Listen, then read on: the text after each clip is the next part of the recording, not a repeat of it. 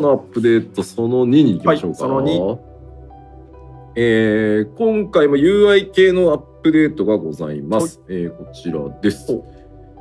えーネームプレートとチャットログにジョブアイコンを表示するという仕組みになってます。まあ、チャットログはね、パーティーとアライアンスのみに、えー適用ですが、これもね、あの非常にリクエストが多かったうんものなので、えー UI アップデートで対応を行っております。いいですね。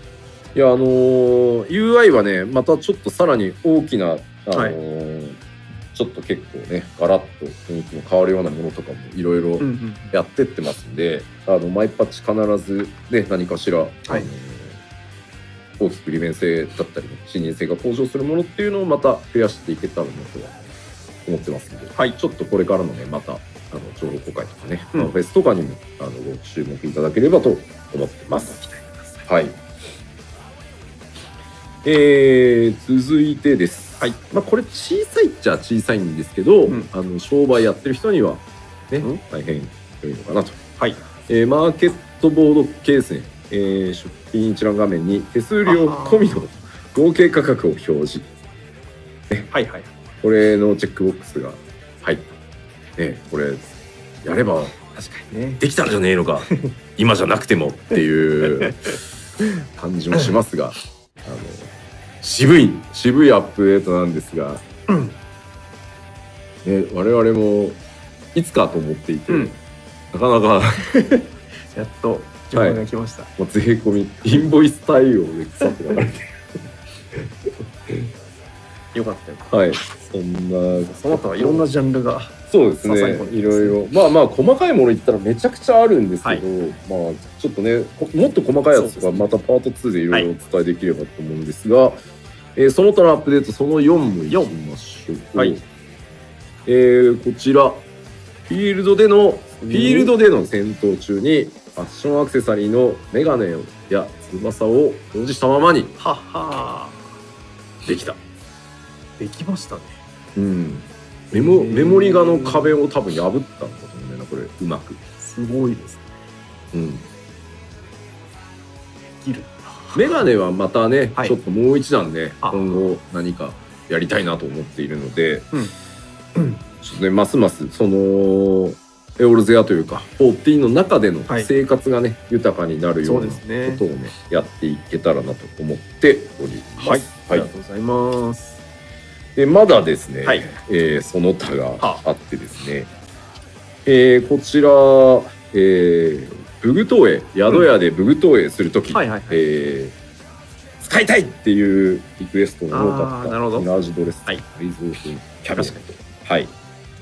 もう直接うん。やれるっていうところまで、まあ、うまくちょっとつつなげられたので、はい。えー、宿屋でやるときなんですが、えーできるようになるんです一回一回ね取り出さなきゃいけないみたいなところだったと思うんですけど、ちょっとこの辺の利便性は引き続き継続してやっていきます。この辺はあのーいわゆるノンコンバットチームプログラマーたちもものすごく頑張ってくれていて、うんまあもともと別々に実装されてるものなので結構そのデータをやり取りするの結構大変なんですけど、うん。